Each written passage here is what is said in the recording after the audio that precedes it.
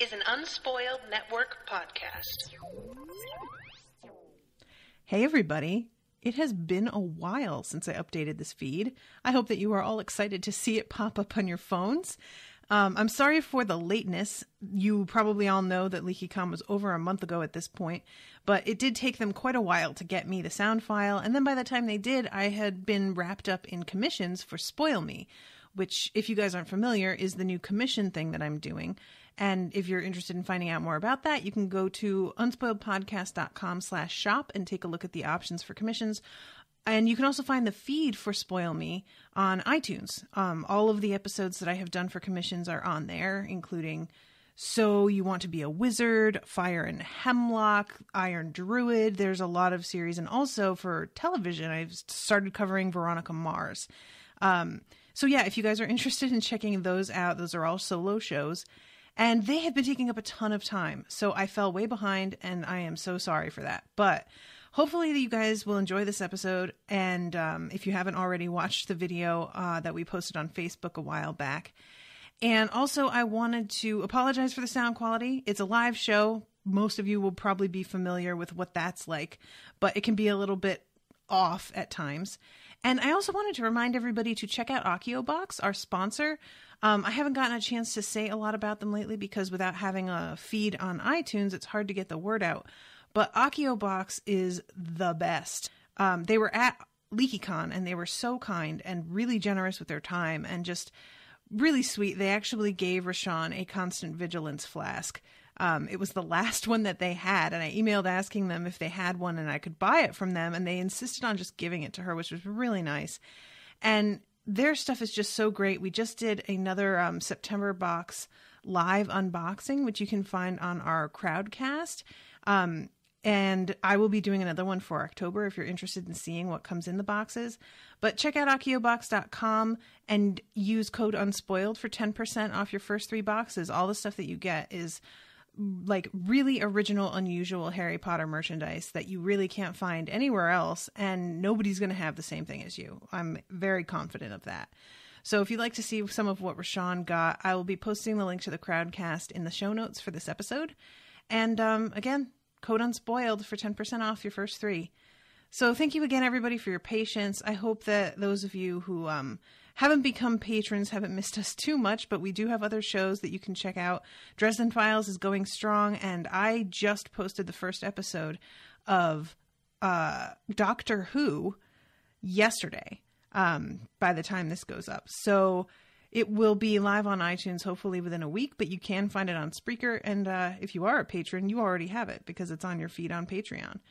So, all right, I think that's everything. I just wanted to give up, um, give some shout outs and make some announcements because a lot has been happening. And now, on with the show.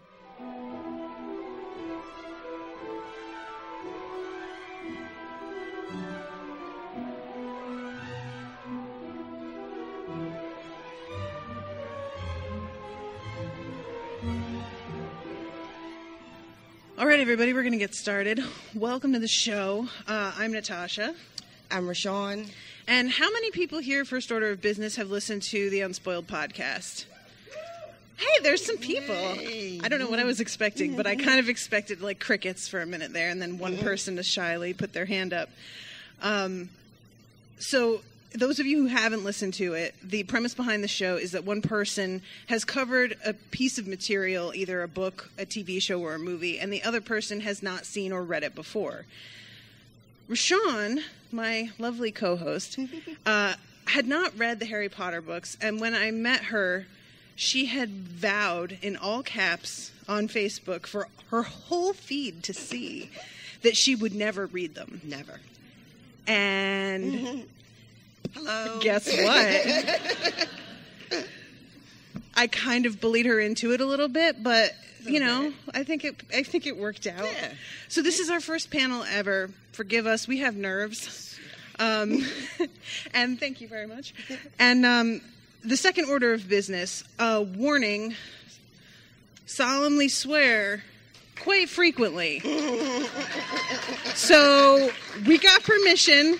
I emailed the staff at LeakyCon and was like, do you want to allow? Is that? And they were like, well, if you put a warning, let people know. And I was like, yeah, because we're going to be talking about Curse Child. And the email back I got was, oh. Yeah, that's you're gonna want to be able to. I was like, yeah, I haven't read it yet. That's scary. Okay, um, and they were right. So we're gonna definitely swear some. So just wanted to be upfront about that.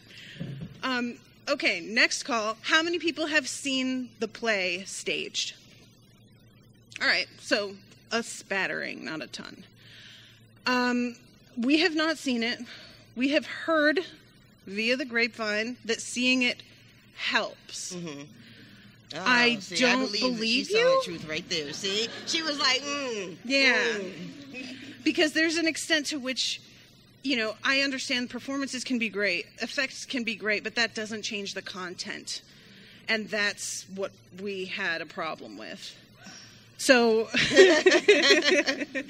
um, I finished reading a couple days ago. Sean was reading last night. I finished it last night, and I was outraged.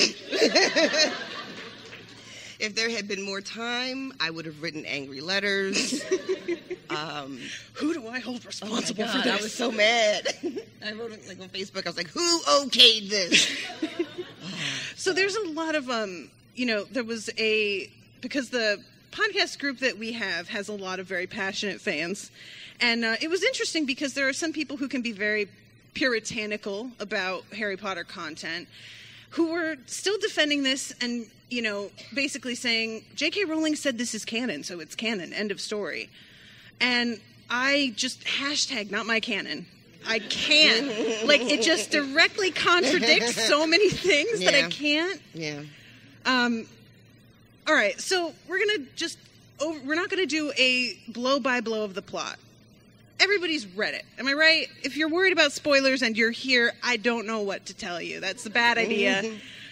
So, what was what was your main takeaway after you finished reading it? My main takeaway is that if I had just put it down by like page 27, I would have been very happy with it. Yeah, I think that's Um, about where I was because at. it starts off really well and all this potential, and then it just goes to sh- we can swear, we can do it. it just goes to shit, guys. It, it, it, and it happened super fast too. Like, yeah, I was reading it and I was like meeting the new characters. I'm like, oh, this is gonna be something. And then it's like I, I blinked and it was just garbage in my hands, and I didn't even know how it happened. And then I had to muddle through it because I had to finish it. And I don't know when's the last time you hate read something, but it is. but yeah, so I just like we were in the hotel room and um, you know she's playing on her phone and getting ready for stuff, and I'm just making. It was amazing. What I'm sitting next to this? her, and all of a sudden, Oh, it just get out of here! I'm just like yelling randomly. Um, so I think for me, the main issue is the fact that it is a time travel story, right? There, it's hard to get invested in plot points, and you know, people having their souls sucked out, which should be a very gravitational. Is that the word I want? I don't think so. A moment with gravitas. Okay. Okay. Um, it should be something that you like. The stakes are just, oh my God, I'm watching this happen. And the way it's written in the script is, it's horrifying. And I'm like, yeah, but I know. I turn the page and that's done and fixed. Yep. And Yep. that's exactly what happens. So, how can you get invested when you know that they can just undo everything? And that's part of why J.K. Rowling got rid of all the time turners. Was she knew that was a problem, and she decided to kind of fix the problem the best way she could. And I thought that was a really good call. And bringing it back, and not only having one, Listen. when he is like, guess what I have in here? I could have threw this fucking Kindle across the room. I was so irritated. I was so mad. And the and the first one too that they have has like that five minute Mhm. limit Right, too, right. which is such a weird arbitrary thing that like, well this we can't let them go too far and stay in the past too long. So we're going to instill this limit and and claim that it's because this time Turner is like a prototype, Right. Yeah. which I guess. like um so yeah there's just there's so many things like the intro that i had planned here was welcome to our panel called polyjuice takes a month to brew because these are the little details that would like i really want to know did they have anybody test read this Oh. who's in the Clearly- fandom Clearly not. I wouldn't think No. right because anybody would stop and be like, "Hold on, wait." Because we're nitpickers. That's we love this fandom, right? And that's the thing. We get invested in little details, and those details are there to keep things Right. from being too easy. Mm-hmm. So You don't put that kind of effort and time in building such an intricate, um, colorful, full world just to crap all over it. Mhm. You know, it it's, it feels kind of like a slap in the face and disrespectful. a little bit of a yeah, it's, it's disrespectful. Um, I will. I want to talk about something that I really liked, though, and There's I know you did. really liked. Scorpius. Oh, right, right, right, yeah, Um, yeah, yeah. That was like the only good thing from the book. I Scorpius is a little gem. Yeah. Like he's just a little gem, and I love him. um, but I really had hoped that they were going to have him and Albus be a couple, and they didn't Mm. do that, which I felt like was sort of Cop out. it was. I don't. Yeah, is it Mm. cop out? Is that the word I want? I feel like it's fair. Yeah, let's go. Right, let's Yeah. go with that. I mean, I thought for sure that that was going to happen by the end of the story, Mhm. right? And then for it not, I was just like, oh, well, you just punked out. You could have, you know, you could have had some stones. You just made, said the thing, but you know, Yeah, I um I think that why I like Scorpius so much is because of what you said. The beginning is so good. mhm. it opens up with Harry and his son that he has this weird relationship with that only gets worse after the first four years. And there's this beautiful, like, flash forward of seeing him get sorted and seeing him get picked on and seeing him try and defend himself and not know what he's even defending himself against. Like, just who my dad is? What's that? And you feel for him. Like, I feel like we've talked about in our show about Mhm. what horrible pressure it would be to be Harry's kid coming Right, to Hogwarts. right. Like, that's a real thing.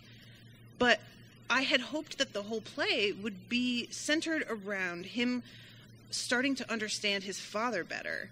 And instead, it becomes this abrupt switch where it's, I'm going to fix my father's mistake and show everybody Mhm. that I'm better than yeah, him. it's this weird competition. Yeah. Um, And he goes back in time to the first task when Harry is super unpopular and everybody hates him because they what think that he missed entered. opportunity. This is right? Yeah. Like he could have, Albus could have seen his father, who he thinks is just has always just been the golden boy and has never, you know, done anything wrong and has always had fans. He could have seen his dad getting booed. You know, what a moment that would have been. Mhm. It would have, I think, completely changed his perception of his father. Um, but it, but instead he sees, you know, him getting applauded and. Mhm. You know, it just reinforces all the things he already believes about his father. It's just a such Yeah, a there's like moment. kind of throwaway like the it's noticeable that the applause for Harry is less than it is for Cedric. But that's not enough. Yeah. You know, like we Mm. need I wanted him to realize because it's not it's finally this like conversation in the last pages of the book that Harry's like, "Oh, James is nothing like me. He has everything comes easily to him. That's not how it was for me." Right. We shouldn't have you guys just talking and saying that. He should have seen that. You were Mhm. given a chance to go and see one of the most traumatic periods of your father's life. And instead, you just hear Ludo Bagman with his like, what, does he say? What is happening? He's something about like uh luscious. Like he's making all these He weird. calls Cedric delicious. I remember Mm, that. yeah, that's delicious right. Diggory because that's not something you're ever going to forget. um, So yeah, I um I just once we got into that first task moment and I and they don't have him really seeing how things were happening for Harry at that point and how terrified Harry is. I realized, oh, this isn't going to be what I Mhm. was hoping it was going to be.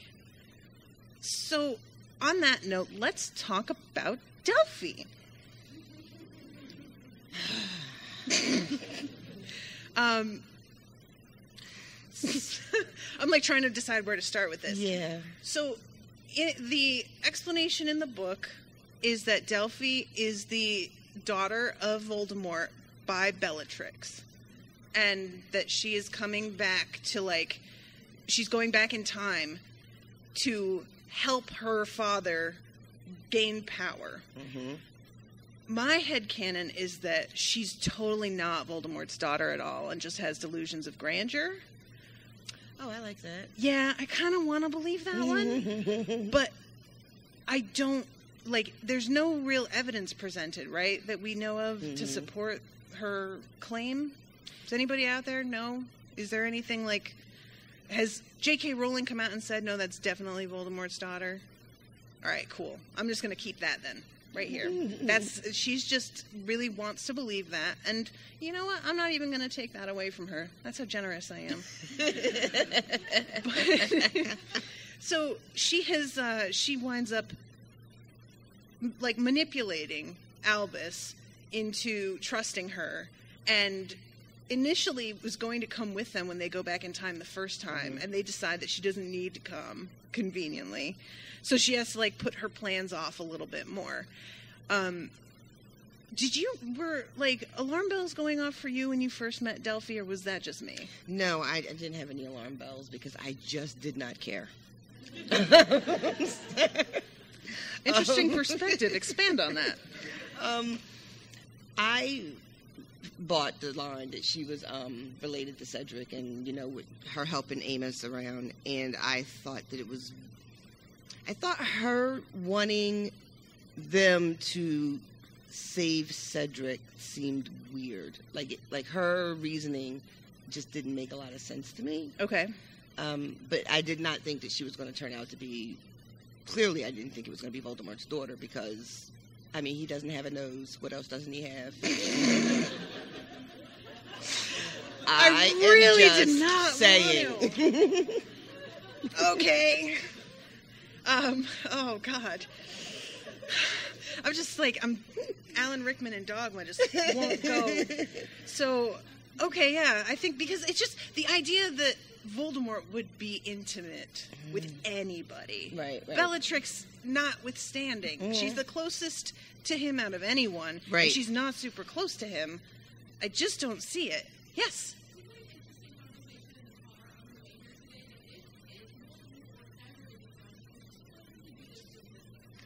Oh yeah, I see this.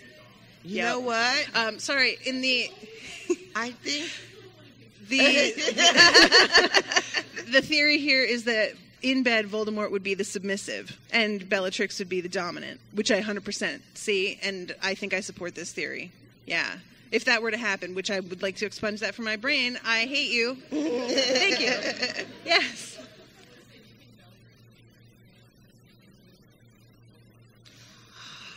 Oh.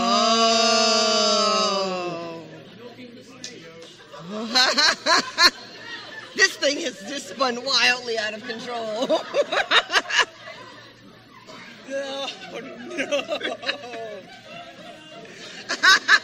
I Somebody think I felt all the blood drain from my face.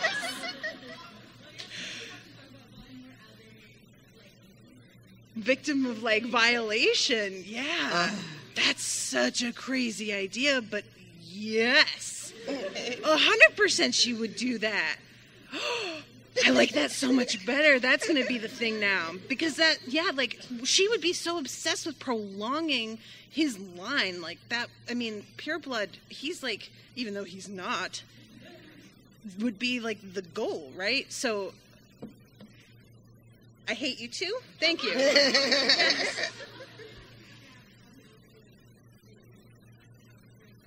I was wondering the same thing. Yep, yep, yep, yep, yep. And Draco has no reaction when the reveal about who Delphi is, right? yeah, that's true. But she's kind of family, right? yeah. So yeah, this whole thing is just There's just so many holes things that in are wrong. Yeah, things that like you wouldn't. It just okay. I know that this is a small thing, but for me, it's a character thing, and that makes it a big thing. we have in the beginning them talking about, you know, what could be going on with Albus when he disappears. And they're discussing things with Minerva. And she's like, well, I mean, there was some boomslang skin and lacewing flies missing from the cabinets, but those aren't restricted items, so. the last time those mm. things went missing, a fucking Death Eater was masquerading as a teacher and killed a student. How are you not concerned about this? I couldn't believe that. I read that and I was like, I, rem- I was in the bathtub and I did one of those like fumbles with my Kindle where you're like about to drop it on yourself, and I reread it and I was like, she's just hand waving this like Yeah. it's no big deal. And don't get me started about the fact that that's the potion that they take like Mm. a couple hours later Mhm. to break into the ministry, which it takes 30 days. Well, you know, she luckily Delphi had prepared. Yeah. Just you know. And that's Mhm. the I had brought this up in the group also that it takes 30 days and somebody said, "Well, there could be time passing." But then they discuss making more Yep, once yep. they're thrown back into the past to imitate Voldemort. Yeah. And they go in uh, Bathilda's house, hmm and he says he Just doesn't bust into her house. well, he- Woman deserves some respect. She said there's no such thing as locked doors, right? Yeah. Um, but even in that scene, they specifically say she will have the ingredients.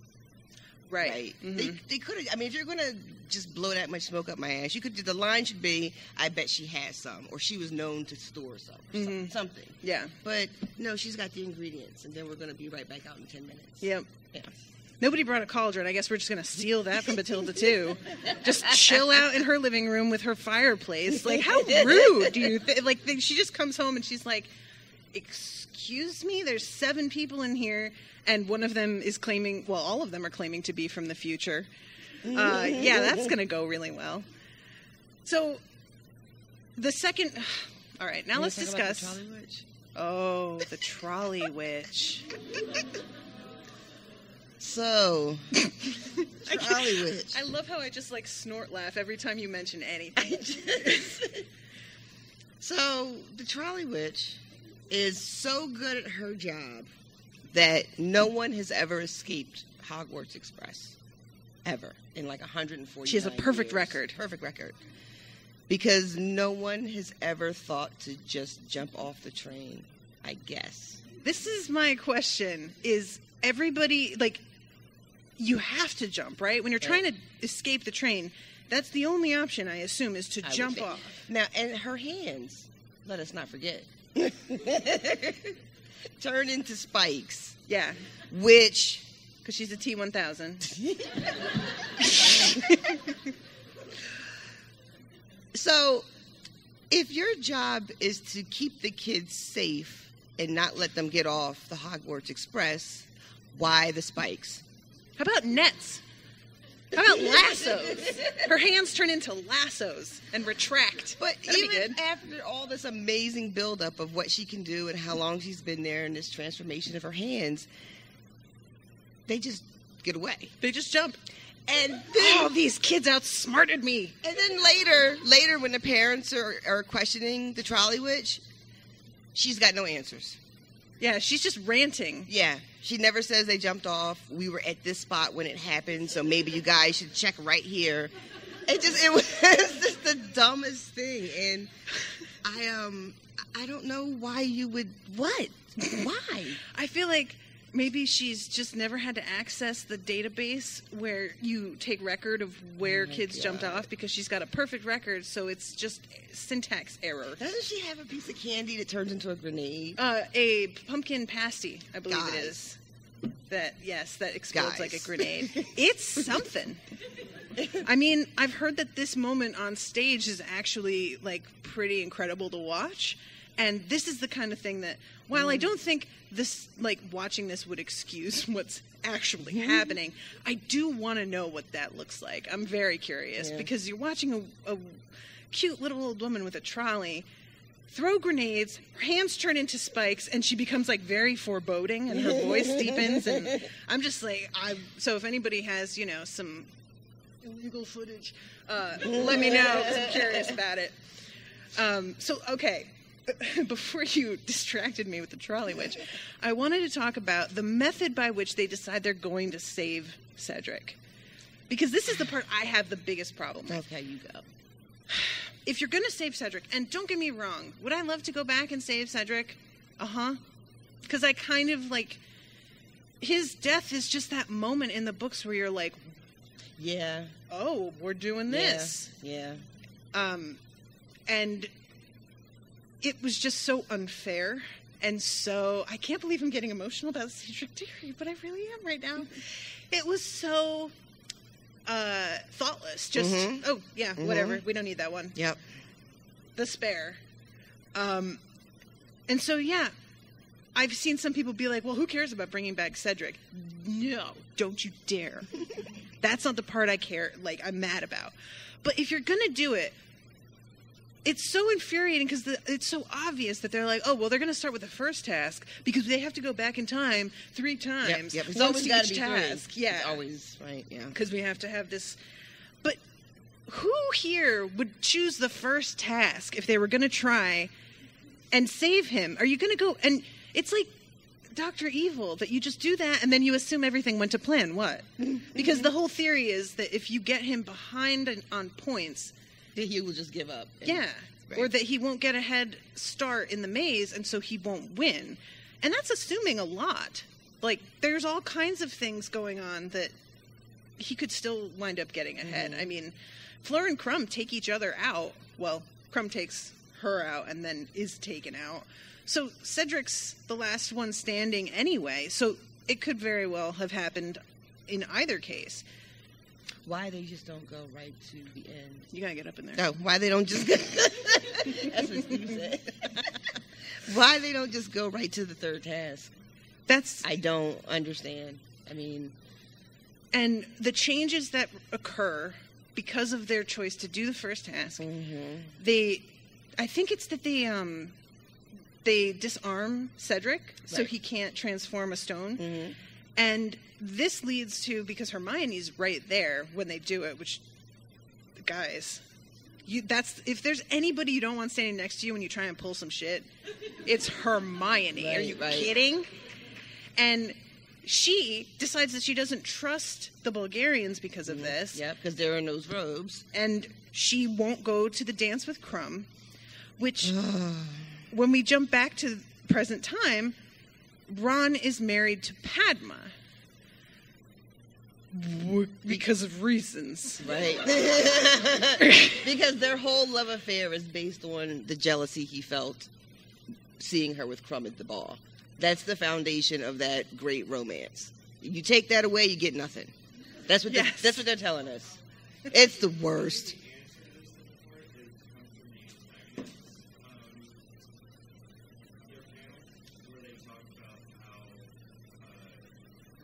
About the only reason that Ron was able to marry uh, Hermione was because Ron did such a terrible job.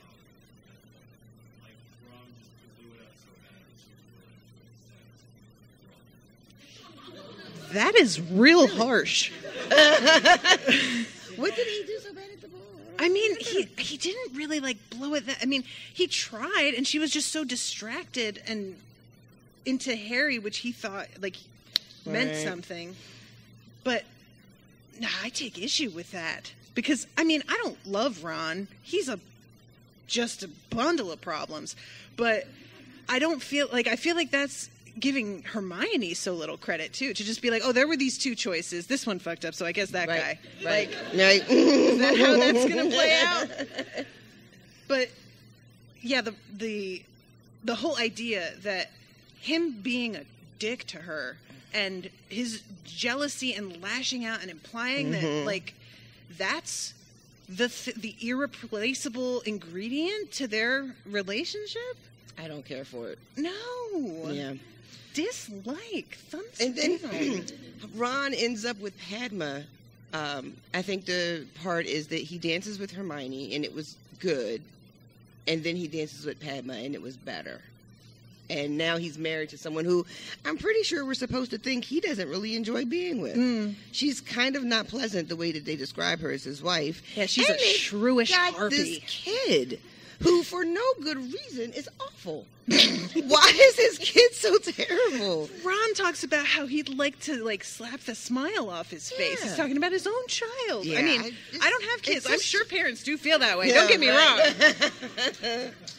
But we have a hand here. Anyone else? Okay.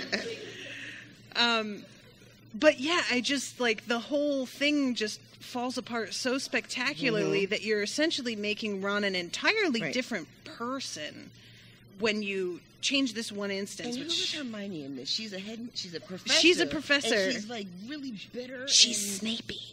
yeah, like how does so not having Ron as her partner, we get Hermione as Snape. Like that's the only thing keeping her from just being completely nuts. These shrewish Is- harpies. I'm telling oh, you. it's right. Mm-hmm. If you don't have that, If she just got some dick. I didn't want to say it. I didn't want to say it. It'd But be that's- fixed. That's basically what it's saying. Mhm. Oh, this is just the worst. And like, there's this tension. You know, they have to have the moment where shrewish Hermione runs across, it- it, like Mhm. battered Ron, and there's still chemistry and whatnot between them. And I'm like, so what? That wasn't there before, and you just got it back after he got married. Is that like it? Just okay. So moving on. Second task. Um, the second task, their goal, again, I do not comprehend. There's this weird thing about humiliation. He's got to Yeah. be humiliated, Cedric. That's their theory. Right. If Even Delphi comes on board with that too, though. I can't take anything she says, like I don't know what her game is in a lot of this, you Right, know. Okay. Um,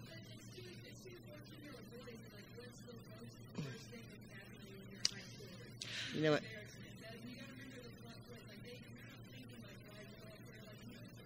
Yeah. But this is my question. So I understand humiliation being a horrible thing to have happen in high school, especially. But the goal is what? You humiliate him, and then he just gets so like downtrodden by everybody making fun of him that he fails the next task too.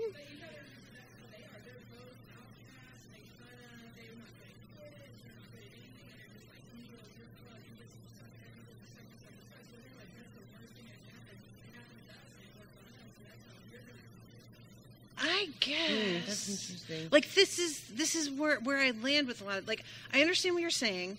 I don't disagree with you, but it feels so roundabout. You know, like all you need to do is delay him again because the whole thing is to be behind on points and I guess it's not the whole thing is because a lot of it is about just him like sort of caving Mhm. and giving up. Okay. So Right. Yeah, okay, so it does work. Spoiler alert, it does in a really weird way. Mm-hmm. Uh, Cedric gets humiliated so badly That he that he becomes a Death Eater. Right. Right. What is this incel bullshit? He's like, oh, I got ruined at this one thing, and now I'm a bigot, racist, whatever, because of this completely unrelated other Mm-hmm. What like again we're sending these weird messages in this story where it's this guy who's so fucking masculinity. So it is it is. And you can tell that this wasn't written by a woman a lot of this. The the writing from jk just has more nuance with things like this. And this was two dudes who seem to have a kind of surface level understanding if that so there's the jealousy thing that they seem to think is a very valuable Mhm. like ingredient. And then the humiliation which is enough to make him a muggle killer. Yeah. what? Mm-hmm. yes. This sounds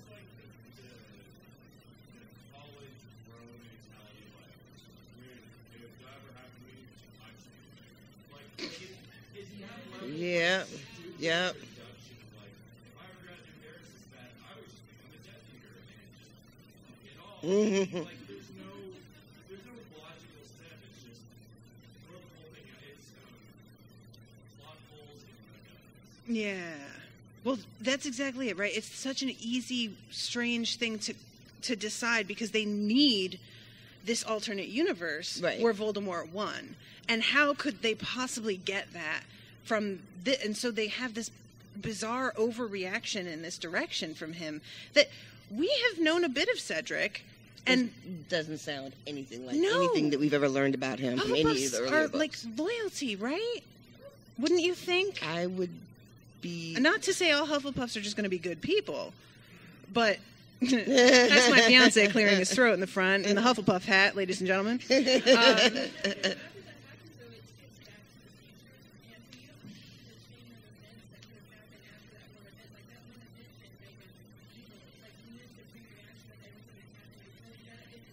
and that's a fault of the of the script. If they want us to believe that, they need to show us that. But they don't. They have this one instance and then hmm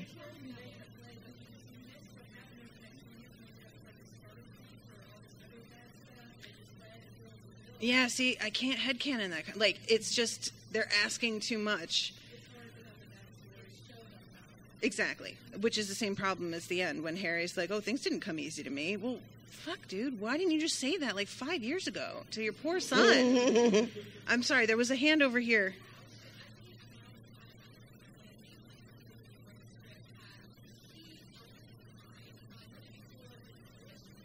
Yep, yep. I agree with that 100%. Mm-hmm. Yeah.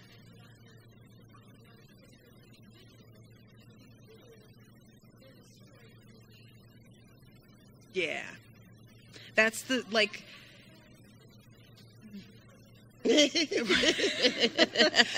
good job, honey. You wrote something.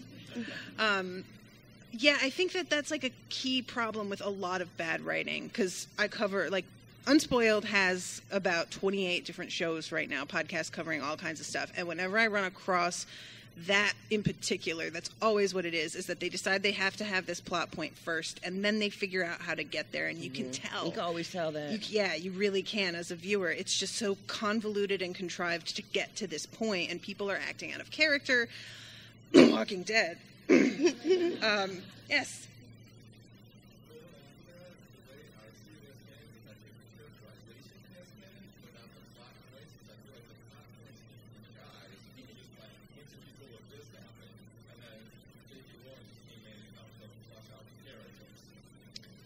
Now, see, I don't feel like the characters are done well either. Like I'm I wanted to start this panel out by being like here are the positive things and I was shocked by the time I finished reading how like short that list was. Because the char- like I was talking about Minerva, Harry decides that his son can't be friends with Scorpius. this Harry in this book. Who is this Harry? he's a he's a Not my Harry either. yeah like Yeah. he and based on what bane look we all know about bane Mm-hmm.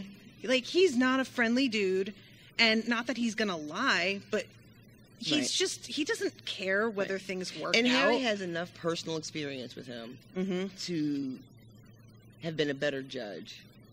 And but he just takes his his very vague warning and decides it's Scorpius and his son. hmm Um, yeah i see a dark cloud and he's just maybe oh that's a person You're the dark cloud, Harry. oh Harry's the dark cloud. I said it. I ain't scared of y'all. wow all right um yes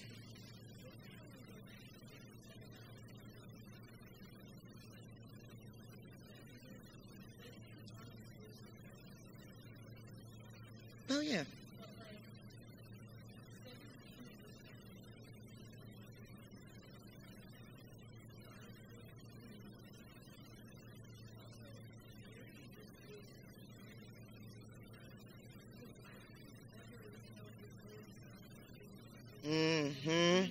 Yep, yep.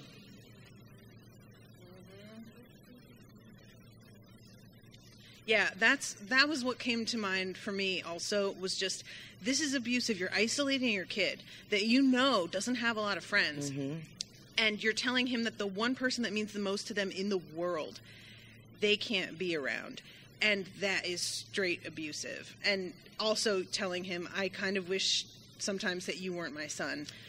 I mean, I understand heat of the moment kind of thing, but I just have a hard time believing that Harry would ever blurt that out, considering that what Albus seems to be facing is something that Harry later claims to identify and understand with, you know, like so much. How could he have such a hard time seeing that? Because Albus doesn't make a secret of it. When he's home, he, he talks about how he doesn't like Hogwarts and doesn't like being there. So it's just a bizarre sort of like disconnect to me Mm-hmm. with Harry. Like he tends to be a, a compassionate person who like Right. observes. the few times that we saw Harry not be compassionate in the books were when he was under great stress. hmm Um, when he had just had about enough of Ron, because you know sometimes you've just had enough of Ron. Ron fatigue. It's a real thing. but it was never like fundamental part of his character, Mhm. you know. And to see him behave this way with his with his child, and also the the elder one, James, who like Albus is missing for a significant portion of this story. His parents are in a frenzy, and I don't know where James is or if he even cares. Like Mhm. he, we talked about this. James exists in this story just to be the foil to Albus, just to be like the sibling that is better, more like that, or you know, more popular, whatever. He's Mhm. not actually a real character in the story at all, and it's just such- again a really strange choice in my mind. Like you could have had some really interesting scenes between Albus and James. Um, you know, uh, that make me think a little bit about Ron and some of the older Weasley boys, you know, because Ron was the youngest and felt very much like he never lived up and everything good had already been given to his older siblings. And I feel like that's something that Albus would have related to. But um, I guess Charlie Witch had to happen. so we did that instead. Um, yeah, I'm just. There are so many like little moments in this that don't work, and it's the kind of thing that if there were one or two, even three, I can forgive that. When, but there are so many on top of each other, and the plot relies so heavily on mm-hmm. some of the moments mm-hmm. that it just really the fabric of it comes apart completely, and I. I know that I have kind of said this already, but I should check into like how much the two men who wrote this actually are familiar with Harry Potter. Are they like even fans? Because I feel like so much of this they would know, or and I just don't know how Well, no, J.K. Rowling signed off on this. it. To be honest, that's like really what comes care. down to They would care. that they would care. And yeah, you so know they what? might That's it. know it, but they don't seem to give a fuck about Yeah. it, though. So it just comes down to well, we need this. They need to Mhm. be in disguise. So I know it takes a month to brew. Whatever, they'll forget about that. Right. And I, you know, the maybe that's true. Maybe it's just maybe it's just us. Is it us? Correct answer. Thank you. yes.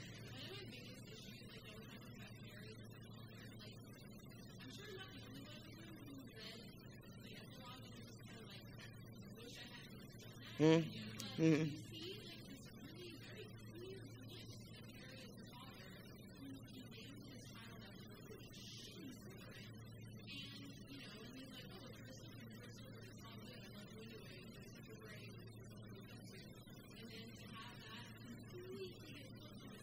Mm-hmm.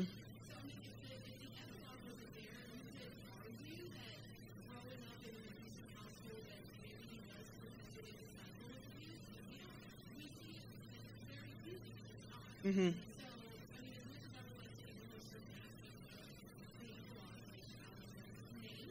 Mm.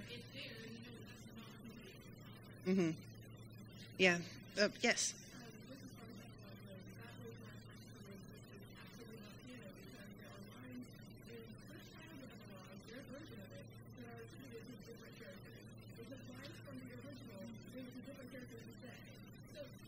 I did not notice that. Interesting. Do you have any examples? Yeah, no, that's fine. If you did, I'd be very impressed. But ne- nevertheless, um, yeah, that's interesting because I really did obviously notice when I started reading Cursed Child. I was like, oh, we're starting with the epilogue of the other, and I because of how well Cursed Child starts, I thought that that was kind of a clever move, Mm-hmm. and started to be like, oh, so this is what we're gonna we're gonna start right from here. Interesting idea, and um, yeah, well, okay, so I'm looking at some of what's that? Oh, the blanket. Thank you, because I have notes here, and I think that was the next thing on here. Um, okay, tell me what you thought. So okay, so it be, it becomes clear that we have to send a message to the Mhm. future. Mm-hmm. Um, FedEx. Well, I did. I was like, oh, it's going to be the mail, Mhm. right? Because that's what you do when you, you know, we've all seen that movie. We know that's how it works. Um, and she looked at me and she's like, oh, it's so much worse than that. Yeah. she was in the middle of reading it and stops and goes, "How are they going to send this message in the mail?" And I was just like, "You wish." so yeah, it's this, a, a reaction. this blanket, this this is the sad, sad baby Harry blanket, and um, I'm going to start selling those. I'm going to get a table next year. Sad baby Harry blankets and with a uh, weird burn. Yeah.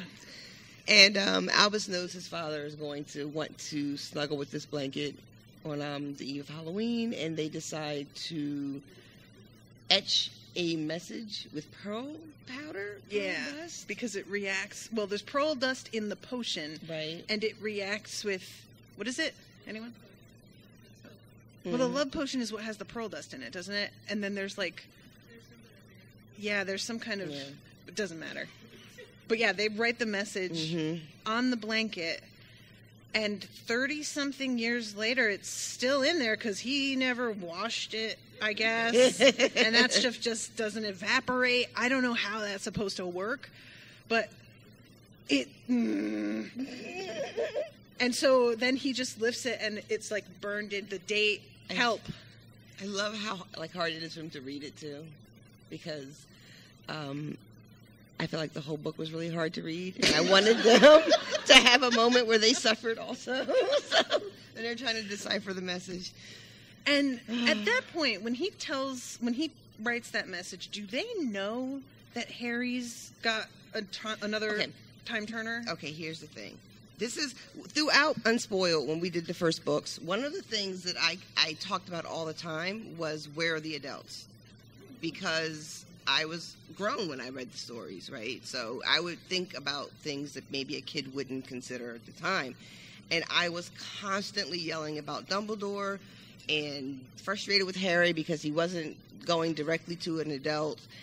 And so this book, we have adults. You know, we have like all these adults, and I'm like, this is good because we have smart, capable grown-ups on the scene. No. Psych. Now I'm like, well, if adults are useless, no wonder. Uh, no wonder we didn't have any. Uh, They Har- Harry wouldn't have gotten anything done Yeah, if the quality of adults available to him was the quality that he himself turned out to be. yeah. So I was really disappointed that um, having all of them there. And at one point, they say Harry has a line like, "No, our boys are lost in time, and we just have to hope they can figure it out." what? what? Mm-mm. Oh man, I forgot about that one. That's a good one. It just it was. Uh, yeah. So this, like, just it's just pure luck in quotes because Mhm. it's written this. It's not luck. It's contrivance that Draco has this time turner, and Mhm. Draco has kept it despite this conspiracy theory that Scorpius Malfoy is Ah, actually Voldemort's illegitimate son because they think Draco and his wife could not have a child, and so she used the time turner to go back in time and get pregnant by Voldemort. Okay. Everybody apparently believes this, or at least pretends to believe it, in order to make fun of Scorpius, which I you don't need that. His name is Scorpius. Why do we have to add this whole other thing? And so he has been sitting on this time turner, e- like even though the entire argument has been, no, that couldn't have happened. The time turners were destroyed. Why wouldn't he destroy? Don't you think he would destroy that? Because he apparently has never used it before. he's never used it, even though it's What's that? I don't think he has to confirm or deny it. He knows his wife. He trusts his wife. He doesn't have to. It's not like it's not a question in his mind. It's just the fact that everybody is like disbelieving him or making fun of his son. He's protective of his kid. Of uh, is Draco Malfoy a better father than Harry Potter? Holy shit! No, oh my god. Maybe that's why I like Scorpius so much. He's just got really good parents. They did their job. Yes.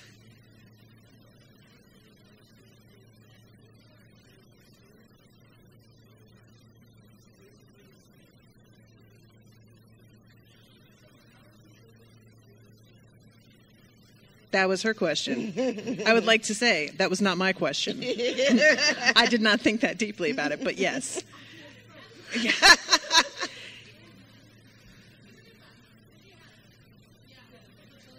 Oh, Mhm, Bellatrix. Yeah. that's right. Um, yeah, so she could just get pregnant by her husband and just be like, "Oh, it's Voldemort. It's whatever. It's fine." Um, so yeah, Draco having that time turner and not destroying it to me just feels wildly out of character. Like if I had something mm-hmm. and everybody had this conspiracy about me based on this one thing that I don't even plan to use for anything, I am getting rid of it Right. so that nobody accidentally finds it and then it's like, "Ha ha!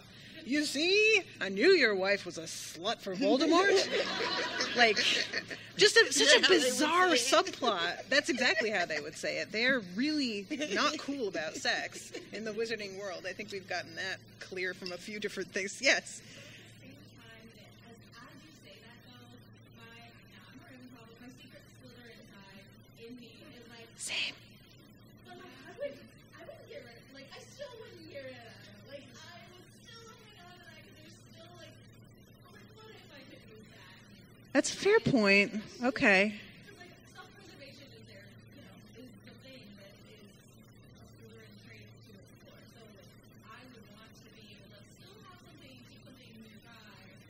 So that brings up an interesting question then, because, well, let's say this, I mean, this story has to get out, right? Mm-hmm. Everything that happened, going back in time, trying to save Cedric, because they go to Amos Diggory and are like, what the hell did you do? Because they're blaming him, not realizing that Right. Delphi is not related to him and is nothing.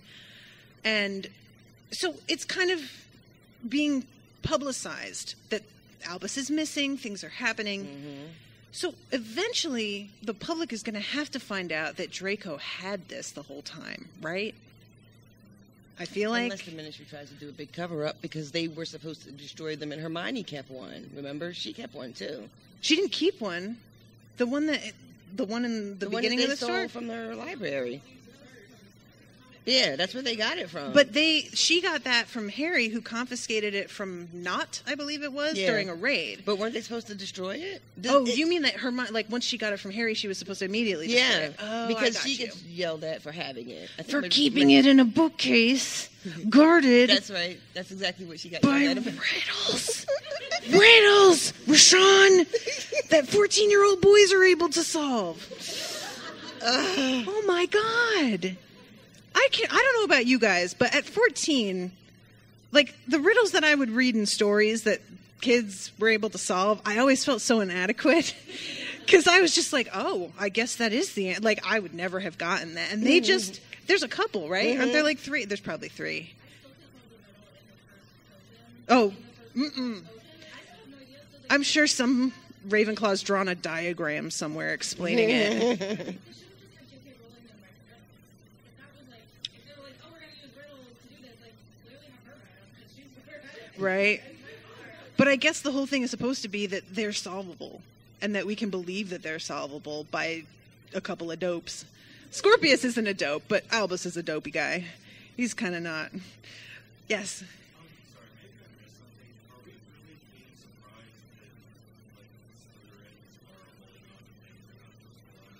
I'm It's not the ministry though. It was like just the the stigma of what everybody believed. That was what I thought. He clearly does. He's constantly telling Harry to squash these rumors. Quash. It's quash, not squash. well, you know, either. It's fine. Um, yes. Well, that's exactly my point. Yes, if he had it, I thought he would use it.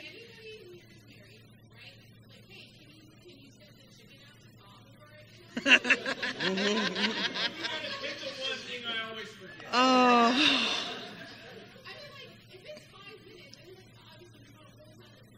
I'm here thinking that you're going, anyone who's married, you're going to want to go back and see your dead spouse. And you're talking about chicken getting taken out of the freezer. Oh,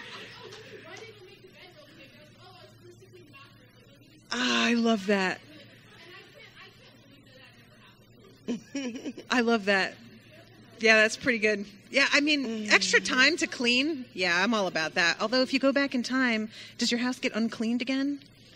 I guess it probably does, huh? So you're just in a Yep. Sisyphusian. You're just That's terrible. Going back to clean. Yes, sir. Okay, I haven't read this, but I'm loving all this, later strawberry lady. Do we actually know he hasn't used his time period, or did he just say he hasn't? That's fair. He has said he hasn't, but he he he talks to Harry and says, "Do you know how many times I've been tempted to go back and see my wife because he was so in love with her?" And uh, so, you know, it it has a ring of sincerity to it. I tend to believe him. Yeah, he's shaking his head. I mean, that's fair. You don't have to believe. Oh, ouch. I'm moving on, sir. Yes. Okay.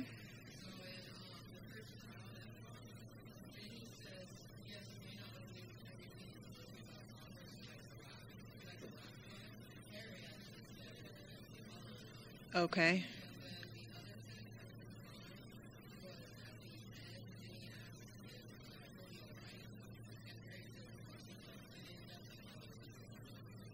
Oh. Oh. Yeah. Why wouldn't this you just use what you already so have? much of this comes down to it feeling like they just didn't do the research, and it's the research is reading seven awesome books. So Mm-hmm. really, how hard can that be? And you you're agreeing to write something read by the entire world. So you've got to know that there's a microscope on every decision that you make. So that's the part as a perfectionist that I don't understand about Mm-hmm, the choices that they made is that they're apparently just not worried Yeah. about it. And I don't understand how you're not thinking the whole time, oh my God, is that right? Oh, they're going to come down on us. Oh my God, they're going to kill us. Nope, that's not what he said. Somebody, okay, we got to fix this right now because I don't want to hear it. Tumblr's going to go nuts. Like, and they just don't seem to worry. I guess that's true.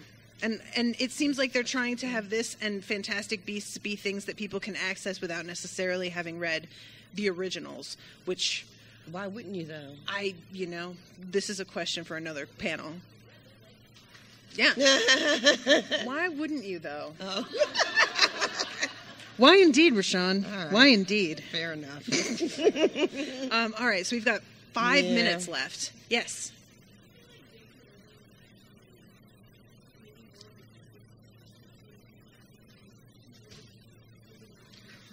Listen, that could have been a whole other panel.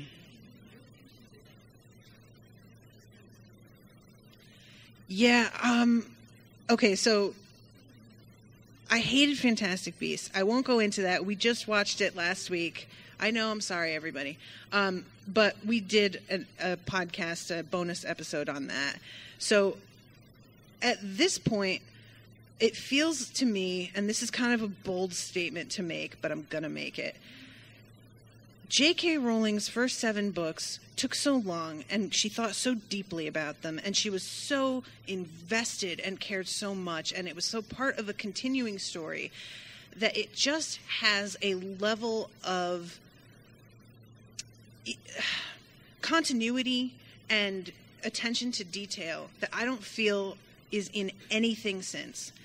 Everything that she has released on Pottermore about history of magic in America, for example, a hugely problematic endeavor, not well thought out, not well researched, if researched at all. Fantastic Beasts, weird plot holes, strange decisions made, and a, a smushing together of two stories that don't make sense in the same movie. Um, and there are just a lot of things that I feel like she made something so amazing with these first seven. And since then, I feel like there is this on demand sort of need in media because of social media and because of movies and the way that movies need to condense a storyline that it doesn't allow her to spread out and do what she does well, which is construct something huge. She's really good at this long con, which is kind of what a lot of her books are. They're mysteries, and she's tricking you, which is what makes them so great. And you fall for it. And so the first like four are really heavy into the mystery, and you have no idea that you're falling for every trick she's got. And I think that's part of what the cursed child was trying so hard to do. Mm-hmm. They wanted us to believe that Delphi was on their side, but like there's no she's she's nobody. She just pops up out of nowhere and is suddenly very involved. And if you've read these books before, you're you know, red flags are flying all over the place because you're like, well, who the fuck is this? And they don't make the effort to have her be somebody that they trusted from the beginning of the story, somebody who's part of things from the beginning. Mm-hmm. And they have to ramp things up to 11 so that they're she's she's flying. Yeah. What is that about, by the way? I think that's supposed I to be guess real I'm supposed to really believe That- that. Yeah. Uh-huh. Oh, right. I want her to be Snape's secret child. I like that better. Yeah. Oh my god.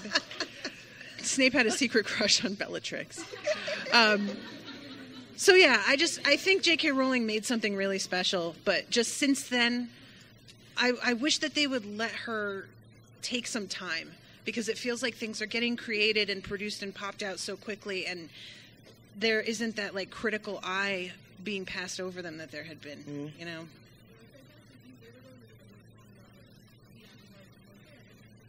Wow.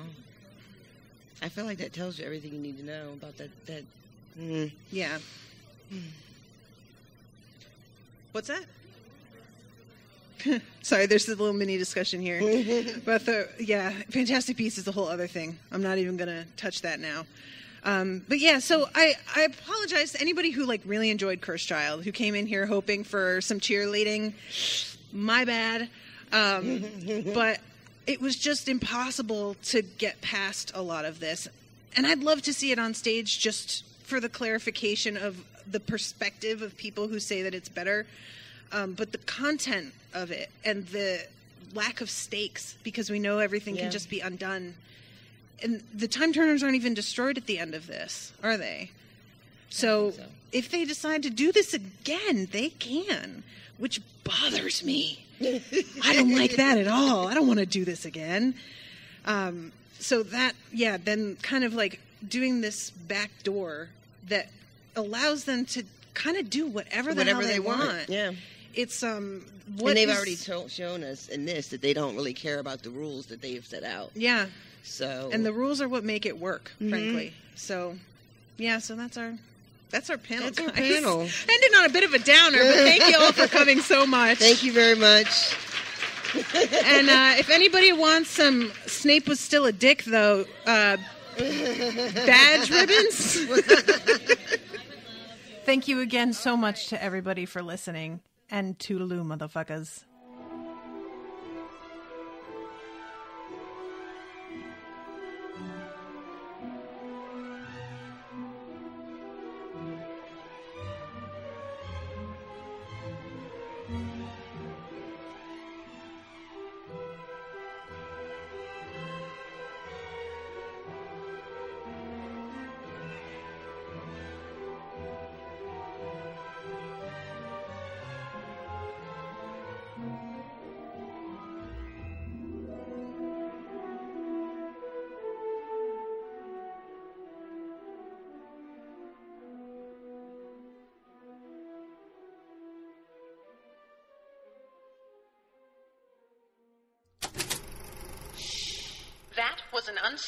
Network.